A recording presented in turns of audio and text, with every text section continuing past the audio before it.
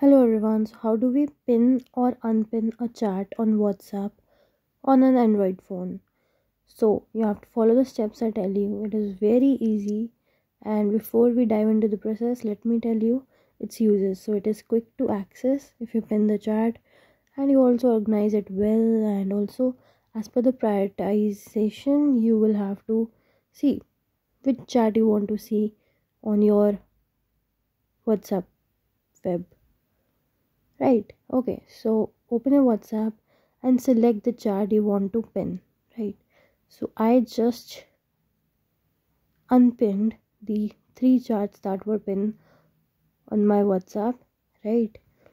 And they will then go back to where they were as per their timings of messaging. Right.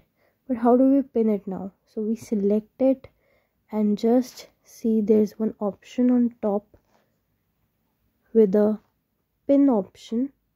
You just have to click on that pin option and your chat will be pinned right? And to unpin the same process you have to follow.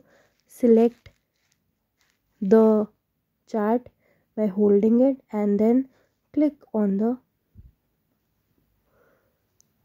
pinned option and then it will be unpinned so how do you know whether it is pin or unpin so if there is no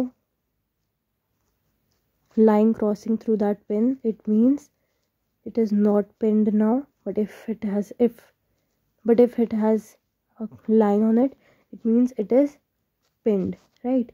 So we have to follow the process that i told you to pin or unpin and we can maximum pin three charts on our whatsapp right? Other ways to prioritize or organize your chats are either log chats or just archive them. Uh, so it is how you manage your whatsapp chats.